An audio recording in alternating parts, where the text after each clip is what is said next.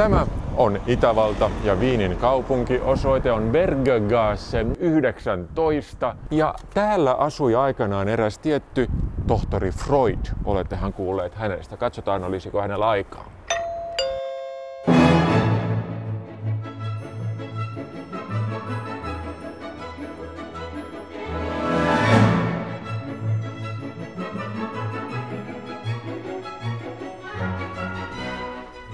Niin, tässä sitä nyt ollaan Freudin sohvalla. Tosin tietysti tämä nyt ei ole alkuperäinen Freudin sohva. Mutta joka tapauksessa olemme siis nyt osoitteessa Berggasse 19, minne Freud muutti perheineen vuonna 1891. Hän hankki tämän ensimmäisessä kerroksessa olevan asunnon. Ja tämä varsinainen asuntoosa, missä hänen perheensä ja hän itsekin siis asusti, on nykyisin tällainen museo, jossa on vaihtuvia näyttelyitä ja kirjasto tuolla puolella ja varsinaista Freudin elämäntyötä, psykoanalyysiä ja kaikkea muuta, mikä häneen liittyy, esitellään hänen työhuoneessaan, vastaanotossaan tuolla. Mennään sinne.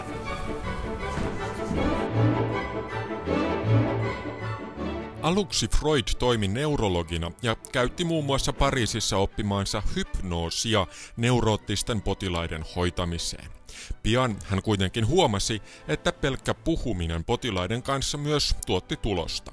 Hän johdatteli potilaita kertomaan heille aroista aiheista ja näin hän pääsi ikään kuin tunkeutumaan asioihin, jotka olivat salattuja, vaikeita ja nähtävästi aiheuttivat potilaissa ahdistusta. Ja hän uskoi, että monet neuroottiset oireet tai jopa mielisairaudet olivat itse asiassa ihmisen oman psyyken aiheuttamia psykosomaattisia. Kiinnostava yksityiskohta täällä on se, että täällä on kaksi ovea.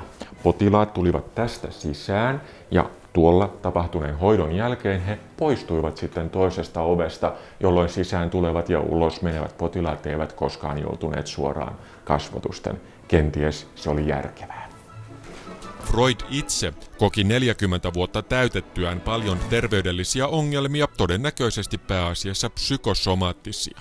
Niinpä hän alkoi tutkia omaa itseään, uniaan, muistojaan ja oman persoonallisuutensa kehittymistä, ja tämä johdatti hänet ajattelemaan yhä enemmän vanhempien vaikutusta ja lapsuusajan seksuaalisia tuntemuksia.